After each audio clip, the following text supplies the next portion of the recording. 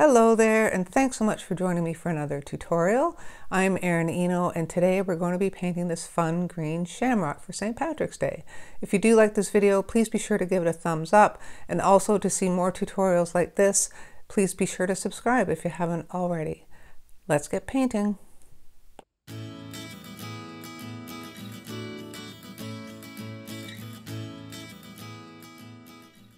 Today I'm using my Baohong Academy cold press watercolor paper. It's 100% cotton, 140 pound. It's roughly five and a half, seven and a quarter ish around there. And I've got it taped to a board because we're going to be using a lot of water today. I've got um, my Royal Talens Van Gogh paints in my palette, jar of water and a paper towel. And I have three Curry's brand brushes in their 2500 series, one in a size uh, 12, 10 and 2. And I also have a facial tissue on hand because I'm going to be doing some blotting. I prefer these over paper towels because they don't have that funny kind of embossed pattern on them. And also a pencil and eraser because we're going to sketch this out. So, I just get my brushes out of the way. Now, a shamrock has three leaves um, when I was looking at uh, reference images, I found out a lot about shamrocks, and a four-leaf clover is not a shamrock. Shamrocks only have three leaves. So I'm going to place my shamrock in the bottom right corner of this sheet, and I'm just going to, I may have it just kind of run off the page a bit too. So I'm just going to start with the stem and kind of curve that up like so. And then there's three leaves, as I said. So this will be the center of the first leaf, and then we'll also have one come down this way and one come out this way. Okay, so I've roughly broken it up into three equal parts. And then each leaf is basically like a heart shape. So I'm just going to start at the tip of that line and just go up like so for the one half and up like so and down to finish that heart shape for the other part. And it doesn't have to be perfect. Don't stress about getting this perfect. So now we'll do the same thing to this side. And this one I said I may have it just run off the page a bit.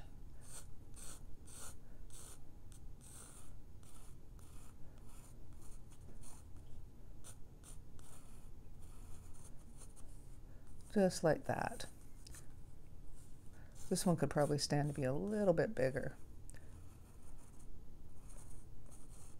There we go, and the same for the last leaf. Just up, around, and down into that heart shape.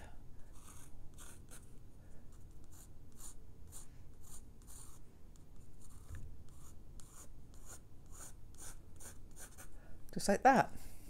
Now they're not all the same size. This one could probably be a little smaller.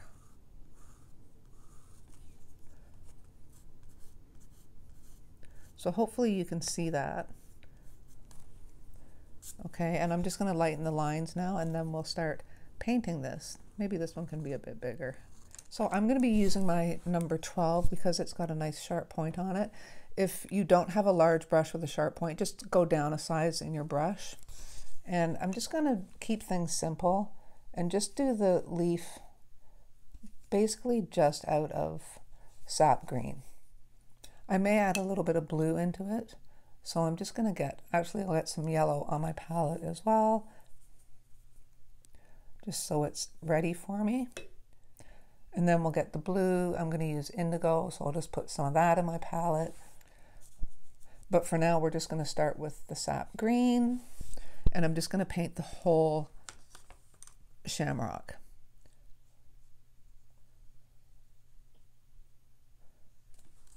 And because this has a lot of curves in it, just turn your board when you need to.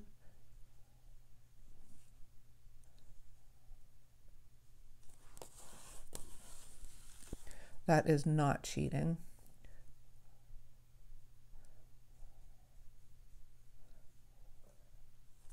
So I said that when I was looking at um, reference photos that I learned a little bit about shamrocks. And the history behind it is that St. Patrick used the shamrock to demonstrate um, the representation of the Holy Trinity. And since then, it has kind of morphed into more of a generic um, representation of faith, hope, and love, which is nice as well.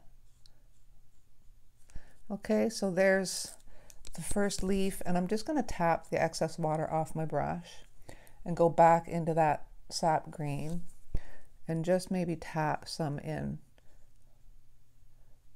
some areas just to get a little shape.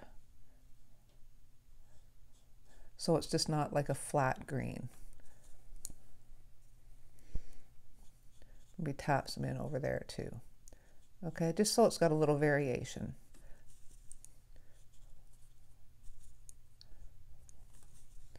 Then we'll start the next leaf.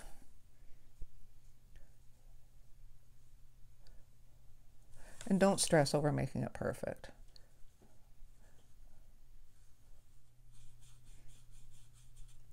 Okay, and again, I'm going to go in with a little more uh, pigment. You can see here that it's drying with a little bit of a hard edge, but I'm okay with it. We're not going for perfection.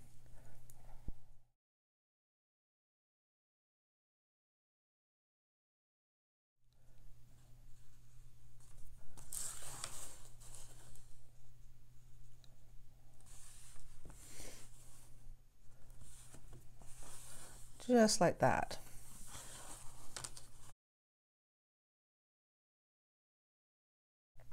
Now I don't know if that's going to dry evenly, but I'm not too concerned. Oh, sorry, I forgot the stem. We do need a stem.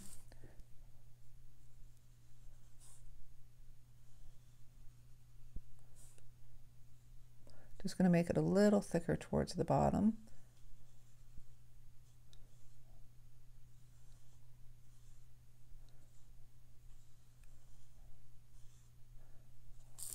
That might be a little thicker than I wanted, but it's all good. Yeah, see, I don't know if this is going to dry all that smoothly, so I'm just going to soften it up a bit. We should probably just leave it alone, but there you go. It's already done. So now I want to add some veins to this just to make it not real realistic, but just a little bit. And also add some shape to it. So I'm just going to go to my size 2. And I'm just going to tap the water off and go back into that green. And just with the very tip of my brush, I'm just going to do just the lightest veining in here. My brush is fairly dry. Okay, there's not a lot of water on it.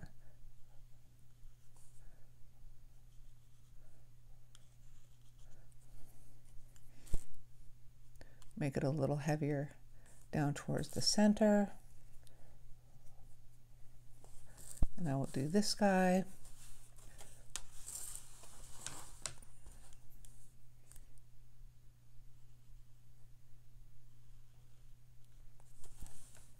That was a little dark.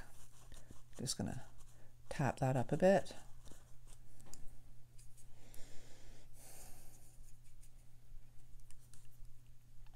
And same thing, just with the slightest, slightest touch. Put some veins in there. Just like that.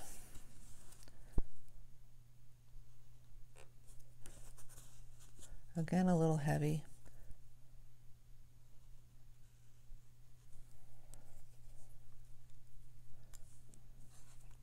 Just turn this.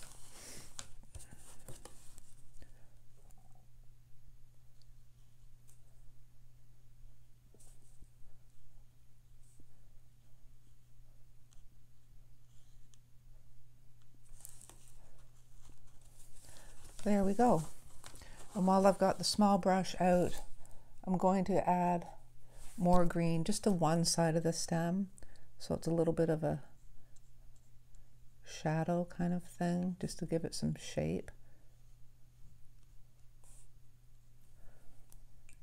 And I'm going to rinse and dry off my brush and just kind of soften that out a bit. I'm not really big on the edge here. It's gone a little wonky in some spots. So I'm just going to see if I can reactivate that green and then tap it up. Usually greens lift pretty well. So we'll see. Okay, that's a little better. And we're done our clover. And I'm going to go back in with my size 12 and I am going to do the background now. This should be dry enough that it won't be too much of an issue. And I want to have it kind of light on this side and get a little darker as we get towards the clover so the clover pops off the page a little bit. So I'm going to wet my whole background here. A wash brush would be better for this, but it's okay. It's not that big an area.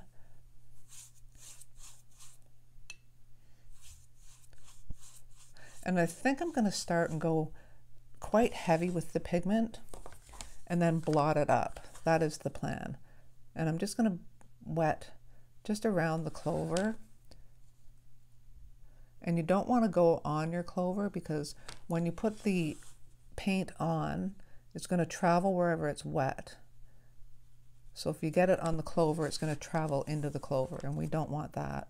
I'm not going to go right into the small areas. I can bring that paint in with a smaller brush when we get to that part.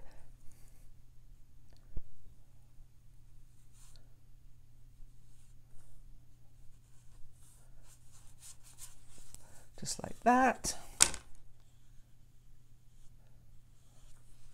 Now I'm just going to tilt my board, make sure I've got it wet everywhere. Some dry spots there. I don't know if you can see that. Okay, so it's just got a nice sheen to it. Now we're just going to go in and start plunking in some colors. For the background, I'm going to put some yellow up here. And I'm just doing it kind of haphazardly.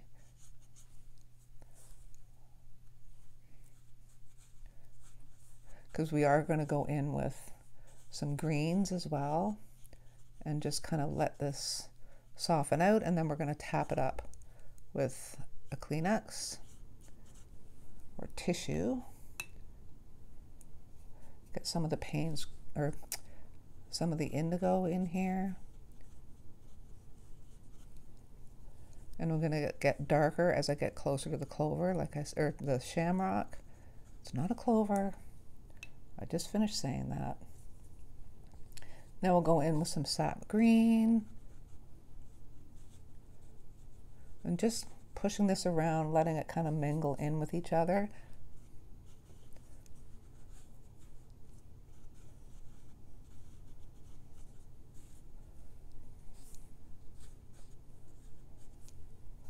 A little bit of indigo. So I'm going to get my size 8 brush, I think. See if this is a little better.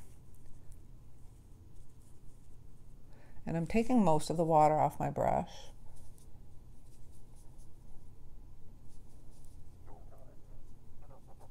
I'm going to put a little indigo in that green just to deepen it up a bit. And I'm going to come right up to the clover, or the, the shamrock. I can't seem to be getting a, a lot of paint on my brush. There we go.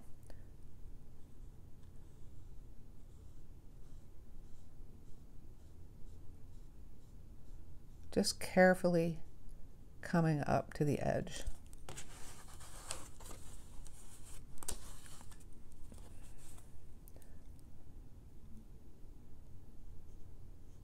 This is awkward because I'm trying not to dip my hand into the wet paint over here.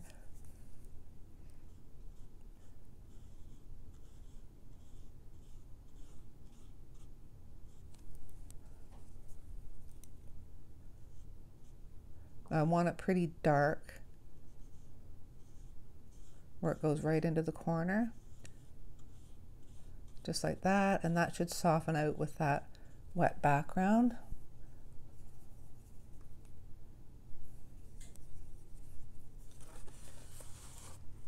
I'm going to come right up to here.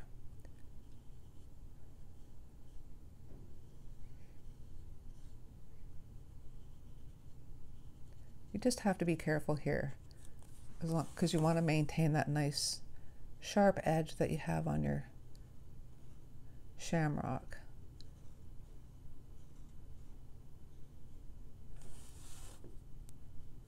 I didn't do such a great job there. It's okay.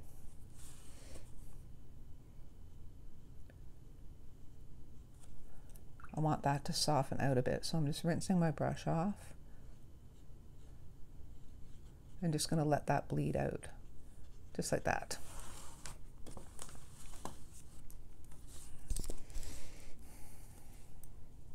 It may become a little darker up to this edge.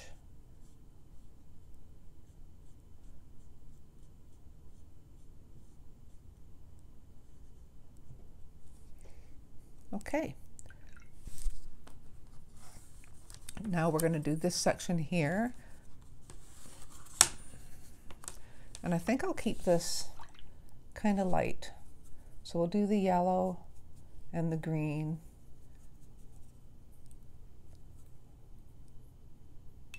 And I'm going to rinse, or just drag my, oh,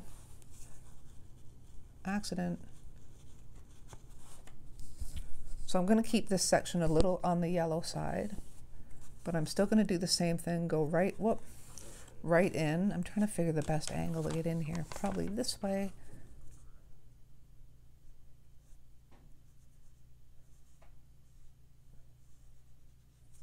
And be careful not to overlap onto the shamrock or you'll get these weird kind of layered edges. And I want to avoid that. We'll just bring that green out and it can fade out into the background because it's wet. And then here, I'm just going to blend this out.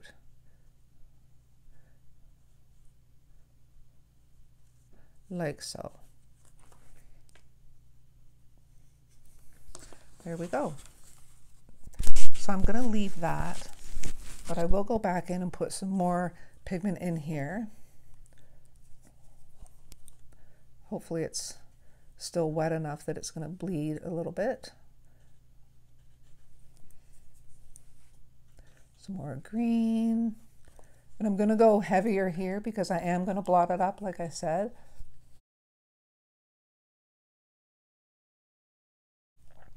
So we can tap some more indigo in here just to get some darker areas. Go back with the sap green. Tap some of that in.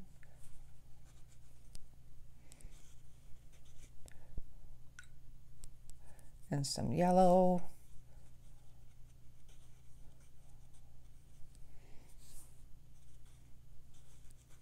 I'm just going to blend this out a bit.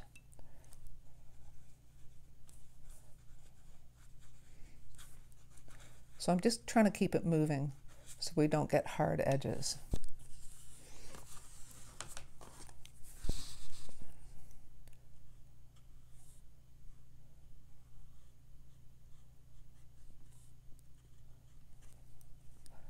Like so. Some more indigo. And I think that's good.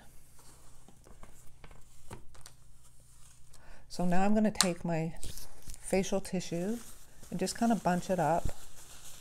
And I'm just going to lightly tap it just to soften out some of this background.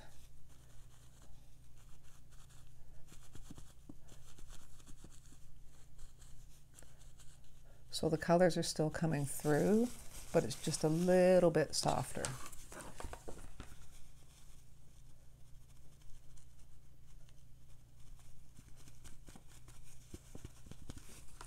Just like that. We can always add to it if we feel like it's just kind of out of balance. So we're going to finish these other two areas here. And I'm just going to wet just close to the edge like so. And I'm going to go in with the sap green. And I want to go, whoops, I want to go right into this inside space here. And then just bring it out. See how it's blooming out where it got wet? So now we can carefully go up to the edge of the shamrock. And because I put that water in there, it's going to keep that soft edge.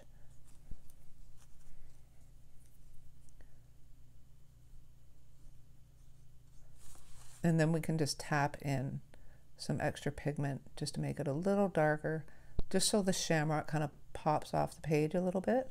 So there's contrast between that and the background, but I'm just being very careful.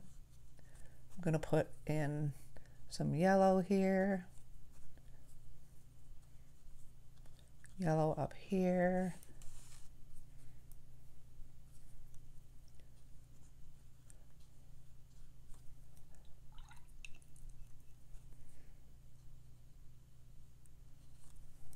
Then I'm going to take some sap green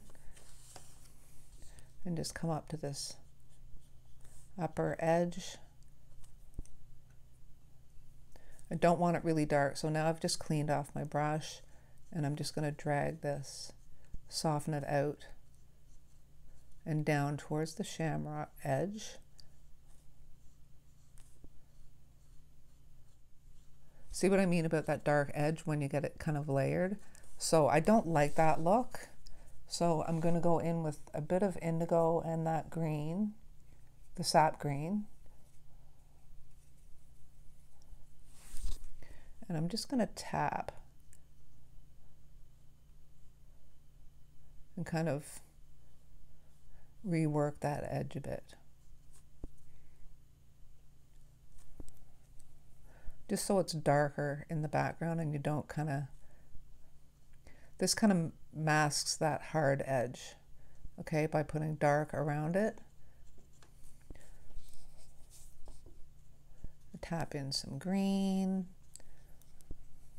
maybe just a little bit of straight indigo here. I don't want to make it look like I'm outlining the shamrock, but I want to kind of straighten that edge out, clean it up a bit. Other than that, I just want this to bleed out the way it wants to.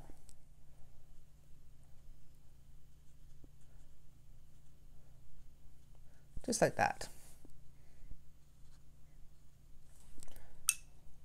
So we have one last edge to do, but I do want to tap some darker uh, green in there. So I'm taking the sap green and the indigo again. It's pretty dark this time and I'm just going to tap in the very center here. Very carefully with my brush held almost straight up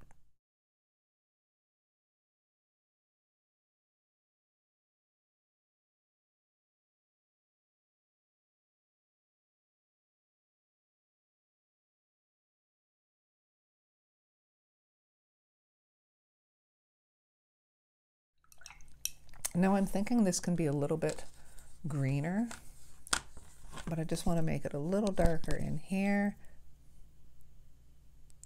Again, being careful, just using the very tip of my brush.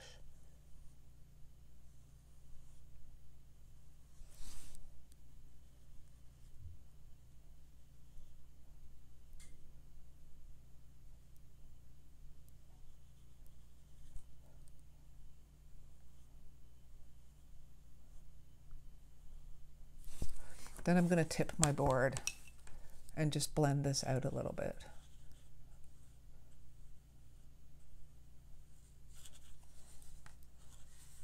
And I want to go a little darker here.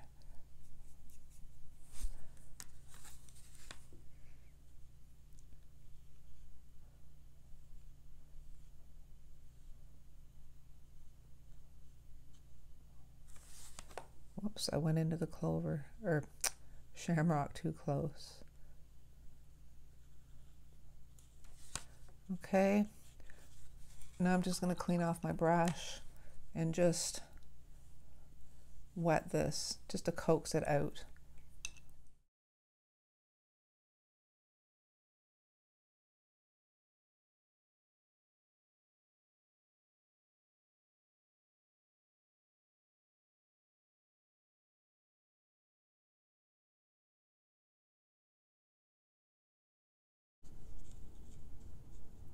I'm getting dangerously close to overworking this, so I'm just going to leave it because it's doing its thing.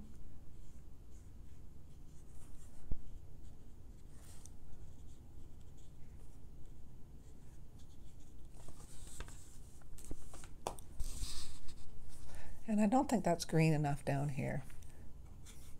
I'm going to put a little bit more green in here.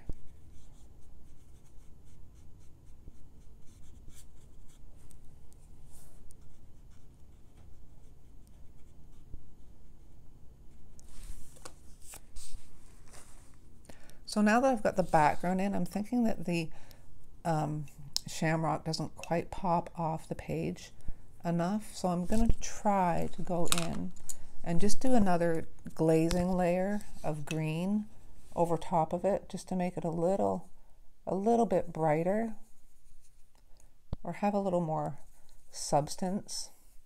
I don't want to go too dark.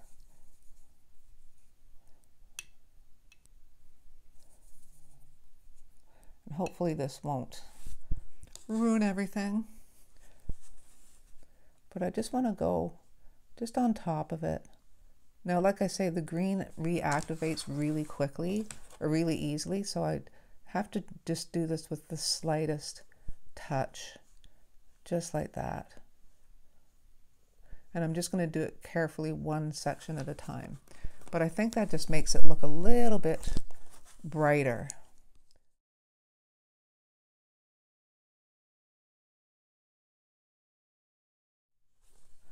There. That just kind of beefed up the shamrock a bit. I found it was just kind of getting a little lost in that background.